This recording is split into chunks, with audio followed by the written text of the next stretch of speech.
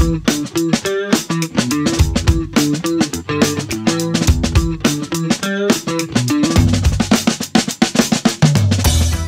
guest today is Scott Hunter. Scott, how are you? I am doing well. David, how are you doing? I'm doing really well. Uh, for those that don't know, tell us what you do. Um, I work at Microsoft uh, in developer division. Um, currently, I work on the Azure Developer Experience team. So we build a lot of the uh, services you might use to host your code in Azure. Uh, we build all the tools for Azure, uh, whether it's command line, VS Code, or Visual Studio. We build the SDKs for Azure. Um, and of course, most folks know me because I've spent, you know, like the last 15 years working on .NET at Microsoft, ASP.NET especially, but uh, all of .NET in the long run. Well, that has had a huge impact on my life. and you're working on something cool right now that you were telling me about. Tell everyone what, what's what's the cool thing that's coming out from Microsoft in your division right now. Yeah, so I, you know, just at the Build conference a few weeks ago, we released .NET Aspire, um, and um, you know, my team builds all the tools for Aspire, meaning we build all the tools for publishing an Aspire application to the cloud. Um, and uh, we can talk about a little bit, you know, what we build, what Aspire is, and all those things. But uh, you know, just just to kind of kick off, you know, Aspire is a cloud native framework for .NET developers. Okay. We we like to think that um, .NET's always been, you know, especially ASP.NET Core has always been a, a great technology for building cloud-based applications. Um, but this is the first time we've had a, what I would call an opinion about what a cloud-native app should actually look like. Um, you know, if you're a Java developer, or if you've been a Java developer, you might, uh, you know, have been involved with uh, a, a, framework called Spring, which is a, a framework in the Java world that is kind yeah. of considered to be a cloud native framework. And in, in many ways, um, we are both inspired by Spring, um, but also uh, you know, some stuff we, we, we, can dive into, David, is um, I like to think that we've built all the tech in .NET over the last five or six years to make it cloud native. We just haven't turned it on by default, and we can talk. We can kind of talk through that. Yeah. Okay. So so turning on it by default is a major goal of .NET Aspire, right? Yeah. So let me let me give people an example of what I mean by you know when I say turn on by default. There's a whole bunch of capabilities that we've built into um, .NET over the years. Um, if I go back in, in time and, and, and think of uh, in, in ASP.NET Core 3.0, we added uh, support for what we call resiliency um, in the HTTP client. And what that means is a proper HP client should probably have a, uh, some code hooked up to it that says, hey, if I try to make this web request and it fails, don't error out right away. Try again. Um, try logic. And that just might be because, you know, as I think of it in the cloud, you know, when I'm when I'm thinking on in my house, yeah, everything's on my own machine. It's perfect. It's always going to work. But uh, the reality is, you know, we've all been on web pages that feel a little slow one day. They feel fast the next day you want to make your application be resilient to that that kind of thing. And so uh, we added support for resiliency in um, HTTP client. We created a, a, client factory, and you could use Polly. That's a library, that, uh, open source library out there to add those those kinds of patterns to your uh, HTTP client. Um, we added that same support to Entity Framework Core. Um, and the idea, once again, is you're calling your SQL database. Maybe it times out once, and you don't want to you don't want to error out right away. You just want to retry and so we added uh, both of those capabilities to um, the technology back back in ASP.NET Core, .NET Core 3. Um, we also added something in that same time frame. We added health checks. Um, and for folks that don't know, if you're running in the cloud, um, especially in, with a with a cloud orchestrator, in this case, I'm thinking of something like Kubernetes. Um, the orchestrator wants to know that all the, the virtual machines are healthy. And so what it wants to do is it wants an endpoint it can call uh, to kind of do a check on the on the app and see if the app's healthy. And so we added support for health checks. Um, I want to say that was back in ASP.NET Core 3 as well. Um, and then a couple of versions ago, we added um, um open telemetry to .NET. And uh, you know, it's, it's kind of funny when we were rebooting .NET uh, back in you know .NET Core 1.0.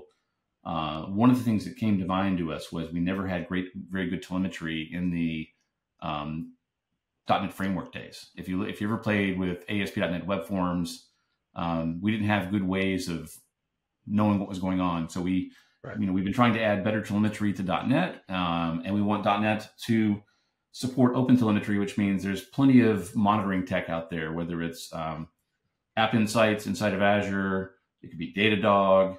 Um, in, in Aspire, we actually wrote our own dashboard that understands uh, telemetry as well. But uh, so what happens is if you have an existing ASP.NET project today, ASP.NET Core project, you can right click on it. Um, and in the right click menu, there'll be add Aspire orchestration.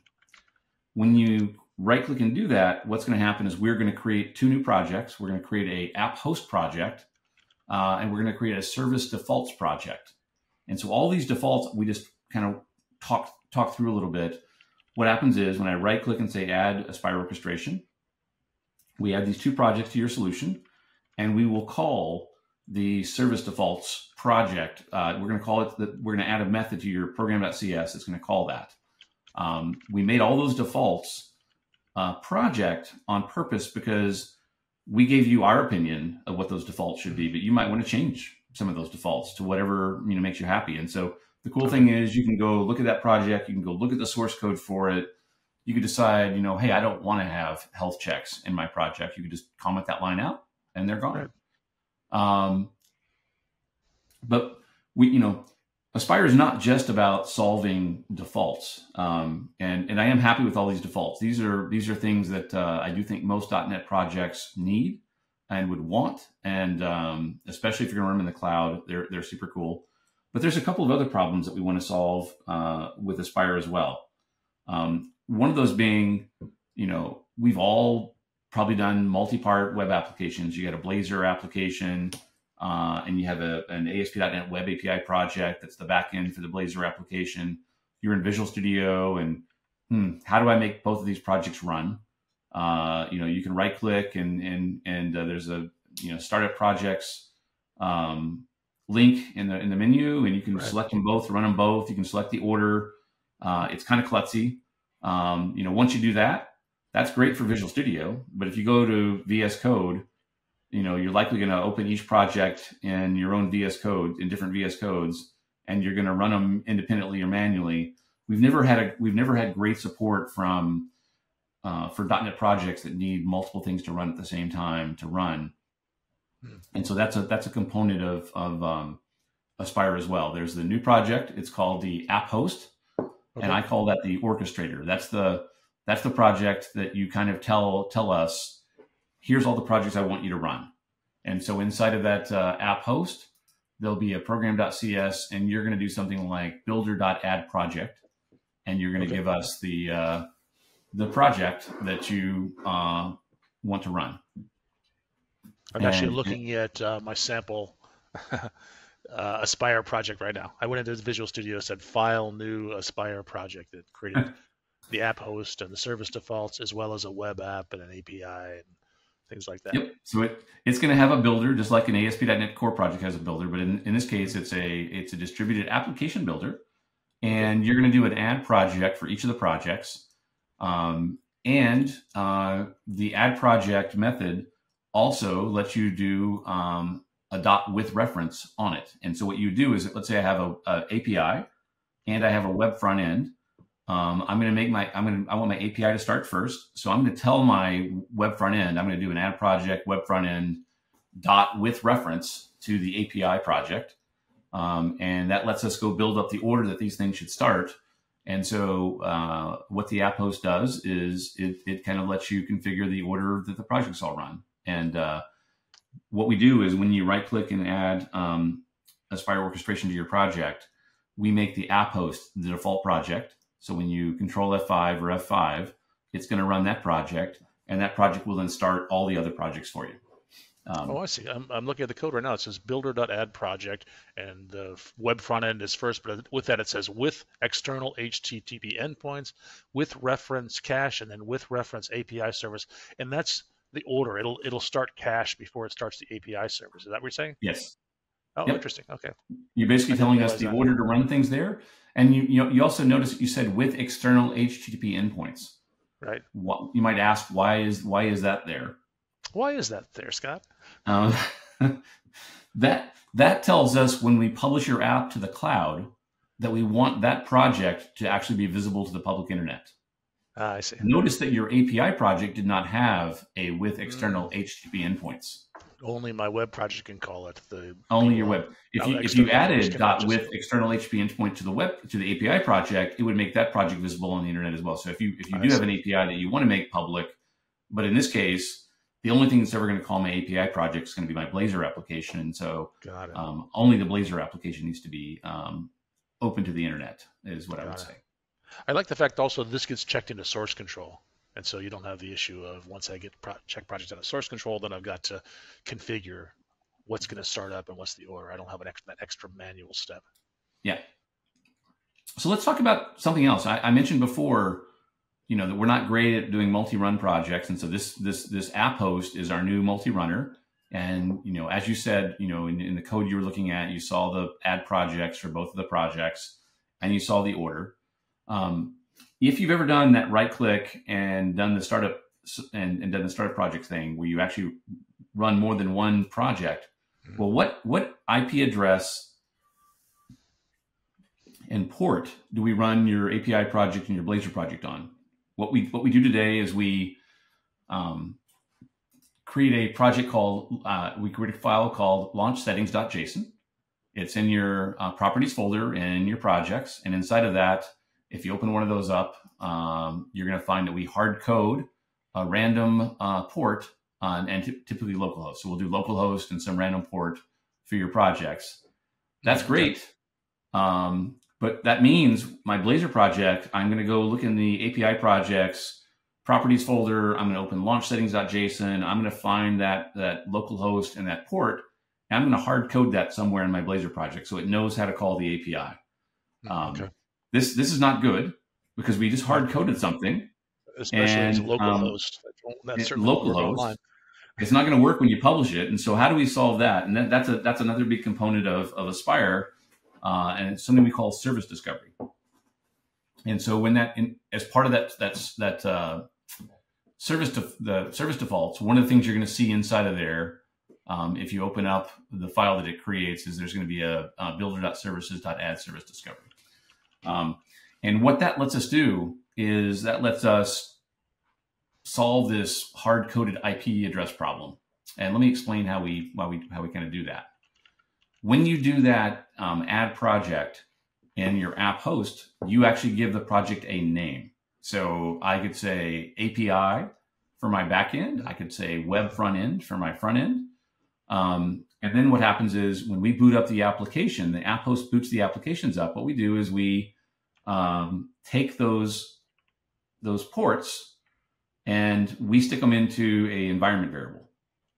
And so what that means is, um, and you can see this from our, we talk about the dashboard in a second, but what happens is when we start up, um, you know, these, these projects boot up and we go find out what their IP and port are.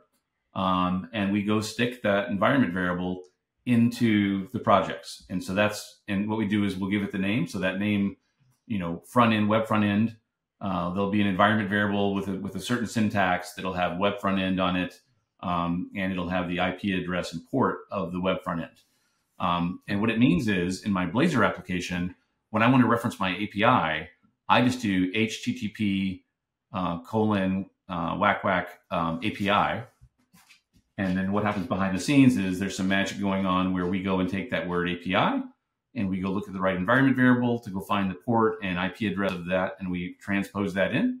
Um, and this means that uh, no longer am I am I hard coding IP addresses and ports in my application. We're letting the uh, orchestration do that for us, which means hmm. when I move this app from on premise to the cloud, boom, it just works. Um, I don't have to worry about changing those things. And so this is a, um, you know, these are probably two of the biggest big improvements are great multi-run support um, and service discovery so we don't hard code IP addresses and ports through our applications. Meaning I can give you the app, it runs on your machine, it runs on my machine, it runs in Azure, it runs in AWS, um, you know, wherever.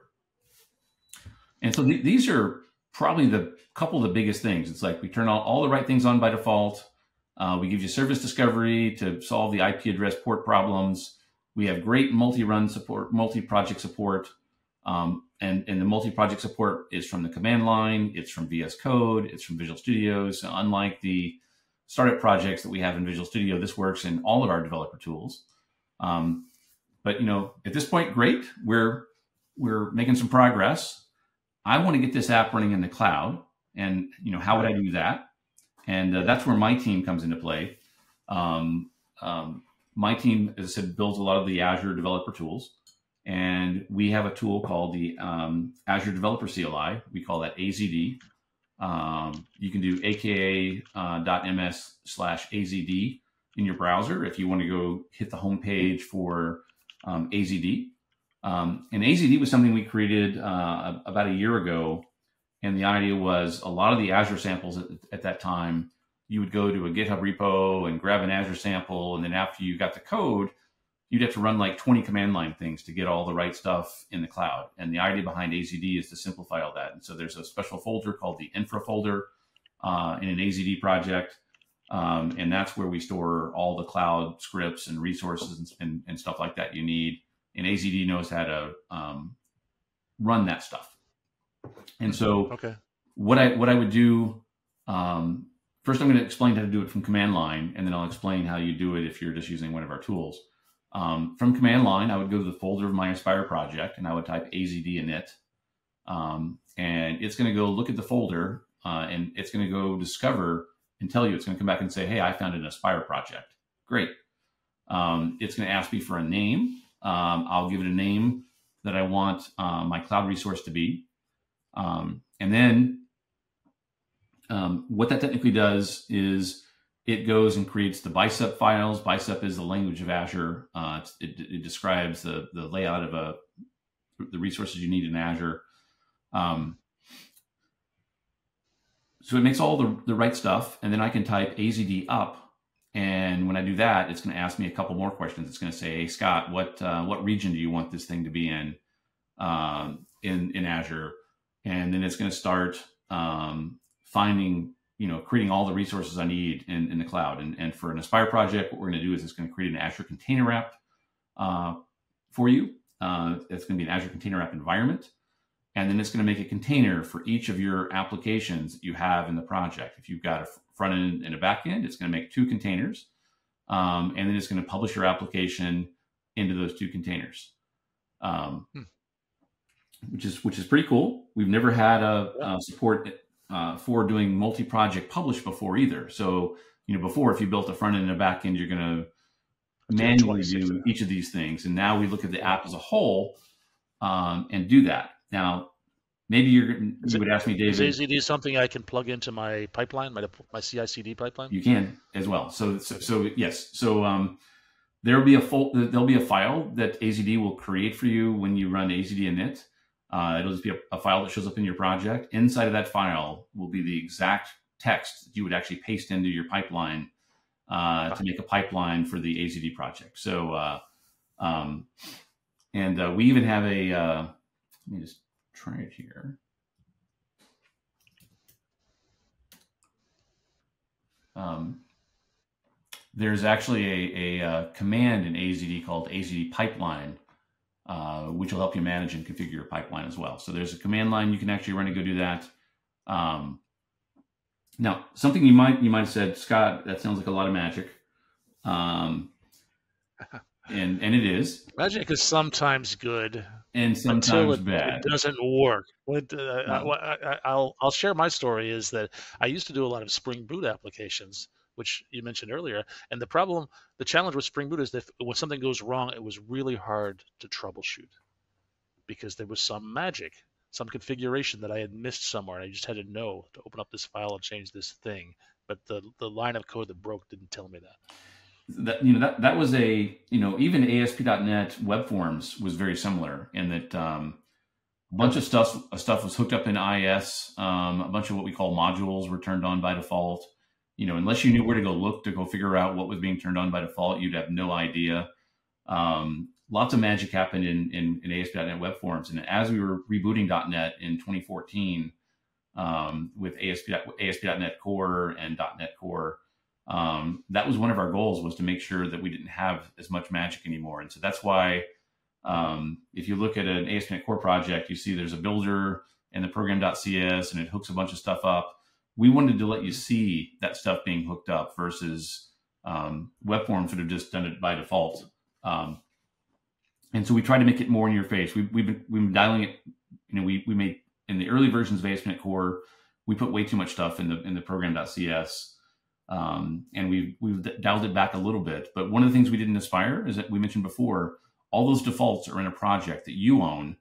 Um, you can decide to change it however you want to change it, um, and so uh, you know the, the goal is not to be magic, and hopefully, um, you know you can you know when I demo it, I normally put a breakpoint in the app and goes trace through the the defaults, and so people can see me configuring okay. the defaults in in person.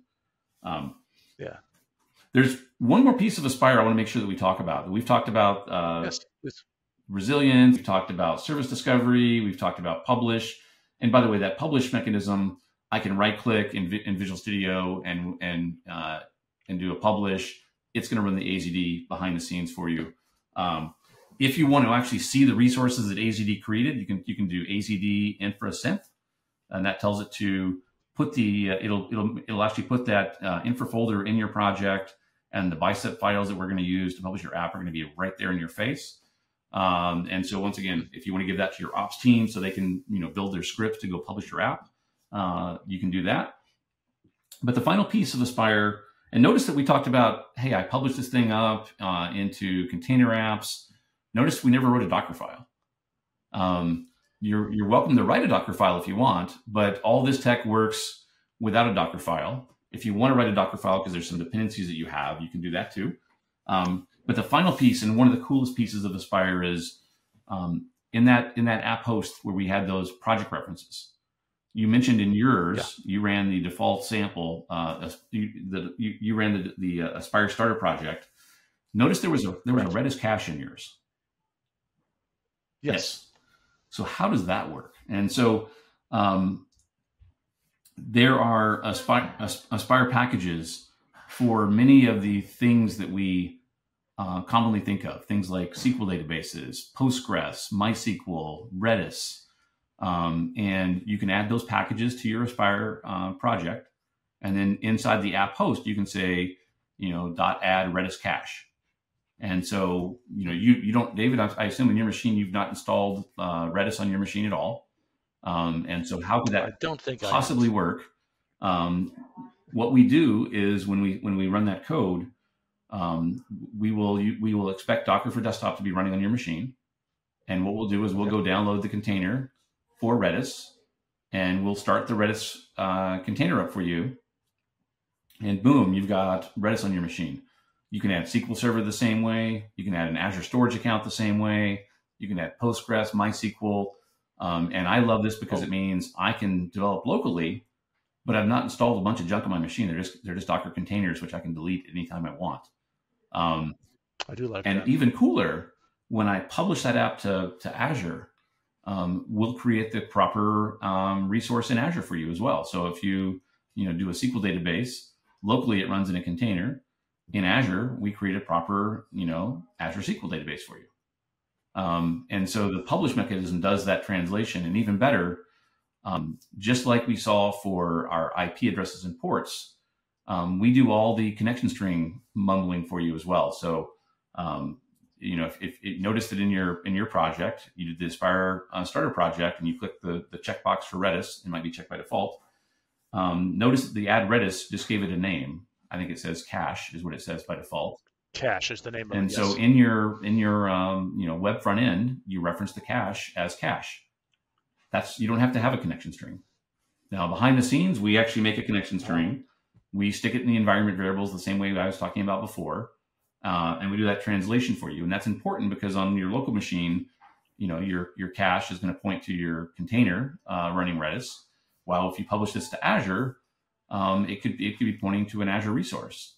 Um, so another cool aspect of of all the stuff we've done with Aspire when it comes to these additional services your app might depend on um, is we also use the best security mechanisms that Azure has. And so in some cases, we'll use something called managed identity, which means there is no actual connection string at all. We just say this service can see this service. Uh, in some cases, it'll be in an Azure Key Vault. Um, and so I'm super excited that, you know, once you put the app in Azure, we're doing the best practices uh, that we can to make the, the app work. And, you know, the final thing that we, we didn't talk about was when you run an Aspire project, if you run that project locally in your machine right now, your browser will open up to a dashboard. It's not going to open up to the web front end or the yep. web back end. It's going to it's going to open up to a dashboard. And that's important as well because we're, we're running multiple projects. And so we don't know which project you actually want to see the web from. The dashboard will list any of the containers. If your Redis cache would be in a container, um, the front end would be listed, the back end would be listed, and there'll be you can click right in the dashboard. There'll be links you can click to open the front end in the browser, open the back end in the browser. Um, um, there's a view button at the far right you can click, and that'll show you all the environment variables and all that kind of stuff for that running project. You can look at the logs for each project projects that running, um, and we have um, you know structured tracing as well. So if your Blazor front end calls the Web API backend, uh, you'll be able to see those calls and see them transfer from one side to the other side. And so it's a it's a really cool dashboard that shows more than we've ever ever given you before. Yeah. Um, at the very bottom, there's metrics. Yeah. That'll show you um, the number of threads that we're using, how much CPU we're using, how much network's going on. Um, and so to me, really nice trouble. Yeah, it's just great. It's it's um, um, and that dashboard is not just a local thing. When you publish that application up to Azure, um, that same dashboard is available to you in Azure as well. Um, so you can go to the Azure portal and you can go click the dashboard and you can see these same metrics running for your live your live project. Um, I, I, do, I, will have to say there is one caveat on the dashboard. It doesn't do storage, uh, which means the, the you're, okay. you're going to get you know we're keeping that stuff in memory, and so it's not going to you know if you if you go to the dashboard, you're not going to be able to see what happened five days ago. It's going to be more of what's happened in the last X number of hours. Um, but, but that's not a big deal either you know, you can also just go and add App Insights to your project as well. Um, and App Insights will listen on those same, those same open telemetry endpoints that we're emitting. And then you've got, you know, your your uh, all your metrics are being stored in in a in, in, a database, and you can look back and see you know trends over time. And so, uh, um, good stuff. I, am just, just, I'm so excited by this. And it's a lot of good stuff. It's, it's uh you know you can add it to any project. Just right click and add it to a to any ASP.NET Core project um, and get all these benefits without changing any, any lines of code in your project. All right, and this is a living project, right? You're continuing to add features. Yeah, this is we you know 1.0 shipped at build um, in May, and I I would assume that you're going to see 2.0 um, ship you know at .NET Conf in November when we release .NET 9. Um, mm-hmm. And we actually we branded this thing, and it's it's it's uh, even though it's actually the first version ever uh, it has an 8.0 number on it because it ships with .NET 8. Um, and so it, it, went, it, went, right, right, you know, started at 8. So it's version 8 already. Um, uh, if, if, you install the newest Visual Studio update, uh, it'll pull it down. If you're a command line person, you can say dot, .NET workload install Aspire, and that'll install it on the command line. So you can do either way, but it's it's GA available today, fully supported, um, and uh, one of the most exciting things I think we've done in, in the space in a couple of years. It is exciting. We're just about at time. What's the best place for people that are new to this to go learn? learn well, more? you know, I, I uh, best place to do this would be just go to MS Learn and and search for Aspire, and there'll be tons of videos, tons of um, articles. Uh, I'm really excited if you, if you go to and find the Aspire documentation, you can actually download the docs as, as a PDF. Um, and so uh, when I was hanging out with you at some conferences earlier in the year, um, I actually downloaded the docs on my iPad and read them on the airplane because I, would never read the docs before. I actually oh. I've been using this thing since last year, but I've never read the docs. Interesting. Uh, well, I've been playing with it all weekend, and I think it's really cool. I'm going to be playing with it a little bit more this week. But I really appreciate your time, Scott. Thank you so much. I've learned a lot today.